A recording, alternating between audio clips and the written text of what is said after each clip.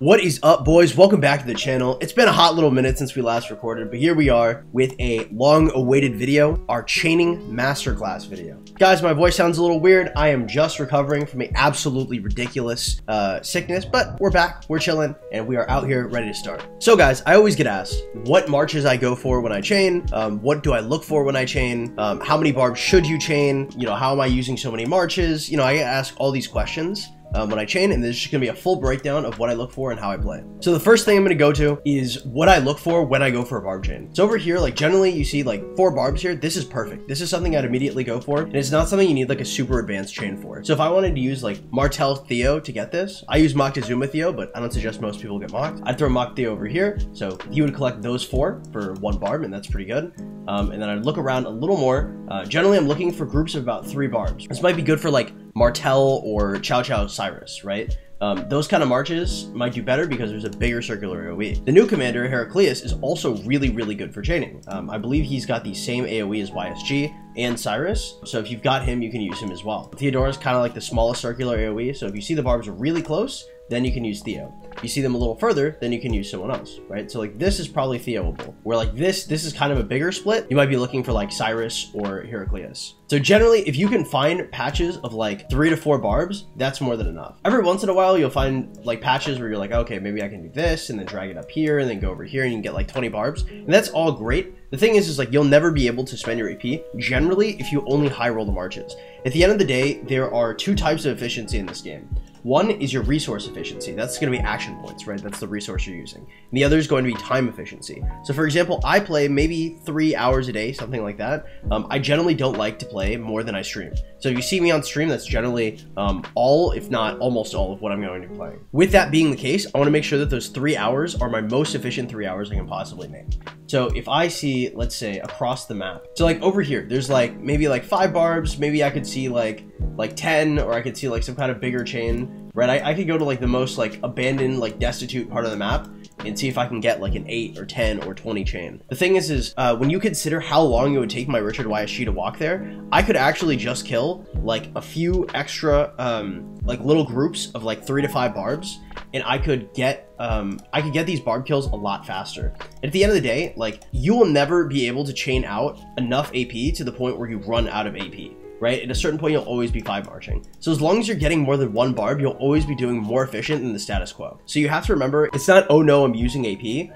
It's, I'm getting rid of this AP compared to five marching, right? Because that's what you're always comparing it to. Or I'm comparing it to forts, maybe, right? So if like killing three barbs in a chain is much better than forts, you just want to be killing at least three. You can kill more if you want to, but at the end of the day, like, the time efficiency is what's really important, right? I don't want to play this game for 8 hours a day, and I assume most people don't want to play this game for 8 hours a day. So just try to be as efficient as humanly possible when with the hours you do play, right? Because, I mean, if you're chaining, like, if my chaining, I chain with um, 3 marches, soon to be 4 marches, um, and I'm chaining as efficiently as humanly possible, that means that my chaining is going to be, like, what is eight or nine hours for one person might be like three hours for me. So I don't have to play eight or nine hours. I can just make sure that I'm hitting small groups of barbs. I'm hitting them efficiently. So another thing is going to be pairings. One of the reasons why I can kill barbs so quickly is because of the specific pairings that I use. So right now, the pairings that I use are going to be Moctezuma Theodora. I use him with infantry because I like the infantry barbing gear better and Cao Cao Cyrus. Most of you guys are not going to have Moctezuma where I have him. I have Moctezuma at 5541,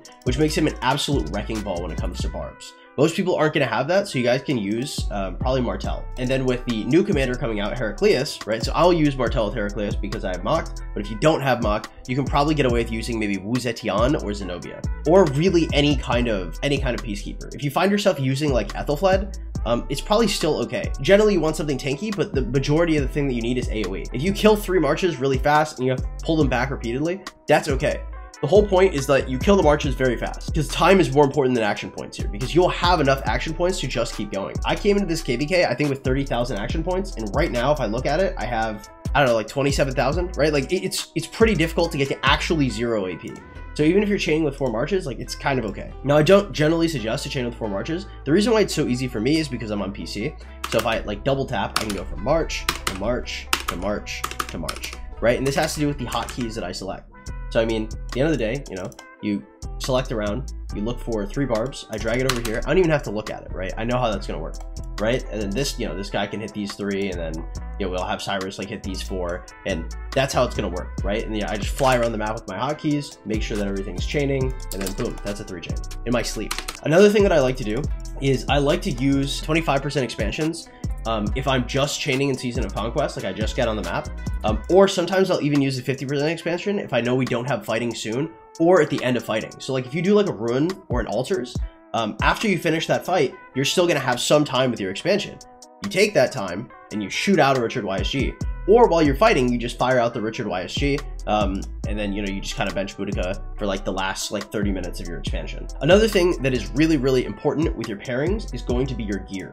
Um, a lot of people ask me what my gear is, um, and I don't have like anything too specific. Um, I just make sure to get everything with bar damage. So over here, like this is generally what I like for gear. Um, this is non-negotiable. You will need a Savage Totem. It's not that hard to get. I'm not saying uh, craft bones in your in your blacksmith because 70 blue bones is just not that hard to get just over time you'll pick them up. You'll build a savage totem and then you'll find it up and you'll use it on each one of your barbing marches. Um, generally i run Karuak's humility just because i think 10.5% uh, infantry health is slightly better than ranger's trousers but ranger's trousers is fine as well. The reason why i really like infantry generally and i have infantry for mocked and I like infantry on uh, Charles is because the infantry gear for chaining is just so good. So we look over here, we have the Cess Brutality, we have the Frost Treads, and we have the Quinn Soul, and these all give like very high damage to barbs. Generally, uh, if you're chaining, I would focus on your infantry barb chaining marches first, and I'd make sure you have this. Now, this is going to cut into your overall gear. I have like three sets of barb marching gear, and it cuts into my main gear, um, like the main marches that I can run. But at the end of the day, like these have all paid themselves off for me, right? The efficiency that they give me has very easily like paid me back in materials, gems, and speeds what I had originally spent on it. Um, if you're not going to chain that much, you might just want to go green gear and call it a day. For me, it's important that I run this, right? Having my 40% uh, barb damage is really important, but I understand why you wouldn't want to. So like over here, I've got the Ranger's trousers and it's 40.1%. And then over here, um, I generally have the, uh, the Gladiator on him, but I was fighting recently, so Gladiator is going to give me an extra 6.5%, uh, and so he'd, he'd normally be around like 32% damage to barbs. And I don't like the cav gear as much, but it's cheap, so I mean, it's fine. Another thing that's really, really important is going to be your armaments. Um, for some reason, a lot of people are like throwing away their barb damage armaments. Like if you find an armament that gives you like 6.8 damage to barbs, that's crazy. If you find the payback inscription on one of your armaments, you always, always, always keep it. That inscription is single-handedly, like, it's going to be better than any armament that you pick up uh, that gives barb damage. A lot of people will say, like, why don't you get, like, the barb damage resistance, and why do you only get the barb damage? Because the thing is, is, like, I don't care if I have to pay a little bit of extra hospital bill. I chain with T5s because I don't care about the resources. I have five farms, right? I care about the speeds, I care about the gems, I care about the materials, right? You're trying to do this shit fast, and you're trying to go back as little as possible. Because at the end of the day, your time is the resource, right? The more time you use, the worse off you'll be. So you're trying to go fast, fast, fast, fast, fast. Everything is a race, right? And the more efficient you can be, that means the more barbs you can kill. So over here, I have a little section on mechanics. Uh, this is just gonna be something really quick. Um, over here, this is gonna be like Cao Cao Cyrus. Um, when you're killing barbs, so this guy's a little differently because his uh, AoE is on his third ability. So it popped right there and it didn't pop on this guy. So generally, um, Cao Cao Cyrus will do an absolute shitload of damage and will just start wrecking barbs. Um, so if he gets the barbs a little too low, I do something I call wiggling, right? So I wiggle back and forth, and right now I'm waiting for Cyrus's third ability to proc, right? I don't want to use um, Cao Cao's uh, first ability because it might end up killing it, and then I wouldn't get the chain, right? So now this is dead, that's cool. That's a two chain, I could go further, but you know, I, I don't really care right now. So over here, I'm going to show another mechanic. Um, if you fight in the open field, you're going to recognize this as something you just do to other people. Um, these kind of mechanics generally transfer over um, if you know what you're doing, because chaining uh, people in the field when you fight is very similar to chaining barbs uh, in terms of like conservation of rage and not dropping aggro and stuff like that. So over here, I'm attacking this one barb. I'm going to wait until Richard's ability has gone off, and then I'm going to move, right? So right now it says I have zero rage. I've used my primary ability, but now my secondary ability is going to go off. So let's pretend I started attacking this guy over here. I could move with it, right? I still haven't fired my ability.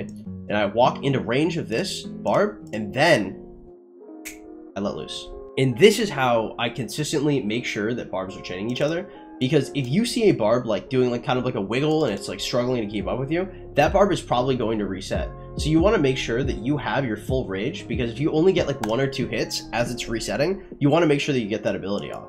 Or you want to make sure you get the ability. So here's another thing you can do. So let's charge the ability. So we get the ability, we walk over the 46, right? We want to aggro it, but we don't want to let this barb move around too much because we want to make sure that it doesn't reset, right? So boom, it goes off and then we move back, right? Now there's no wiggling, there's no way for it to reset, but we've loaded the rage, we've chained the next barb. The next barb comes to us, right? And so we make sure we get this kill. Then we're walking up, we're chaining it. I want to make sure that I load in my rage before I move because you, you know, you just don't want to be dropping barbs for free. We're moving, we're seeing if this is wiggling or not. Uh, I'm not seeing any kind of wiggle here. It looks like it really wants to come over here. And boom, easy. And then you can move back consistently um, if you want to. If you're not, if you're not too like uh, attuned to like if the barb is wiggling, if it's going to reset. Um, every single time that you chain a barb like this, you can just move a little bit back right? And it'll just stop resetting.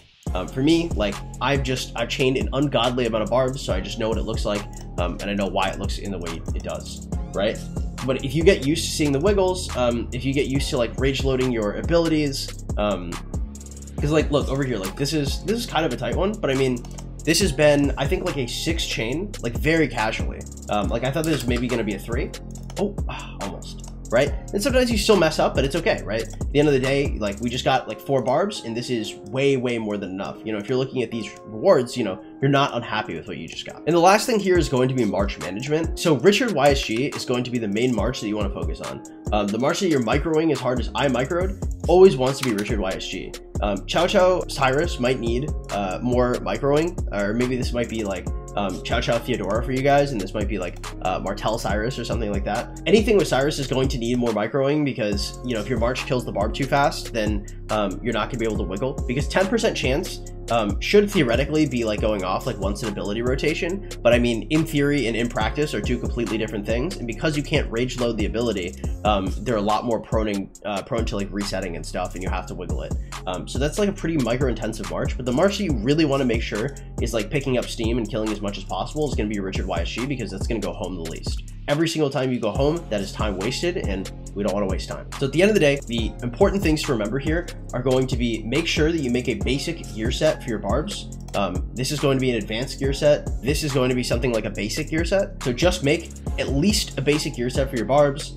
Um, take your extra armaments that you do not care about and toss them uh, straight on it. Looks like this is like 18.6% damage to barbs from arm armaments. It doesn't matter if it's echelon, it doesn't matter if it's wedge, it doesn't matter what it is. As long as it has bar damage, slap it on there. And that goes for gear and that goes for armaments, right? For commanders, we're looking for, you know, Richard YSG, we're looking for like Martel's uh, Cyrus or like Martel Theodora, we're looking for Cao Cao Cyrus, Cao Cao Theodora, and then potentially like Wu Zetian or Zenobia um, with Heraclius, the new champ, right? And we're looking for that and then we gear them all with like basic barb damage gear. There's nothing too specific about it. And then you're just running them on the open field. You don't have to run four marches. You don't have to run three marches. You have to run whatever you can effectively manage. At the end of the day, if you can only manage Richard YSG, then just use Richard YSG. You don't want to be wasting AP and you surely, surely, surely don't want to be wasting your time. So just focus on doing what you can um, and practicing because eventually when you start using one march, especially if you're on PC, um, and you know you're you're flipping around, you know, you're doing you're going to your your bar your barb chaining march, then you're going back to your gatherers, and you're trying to make sure that everything's going, and you're balancing these plates.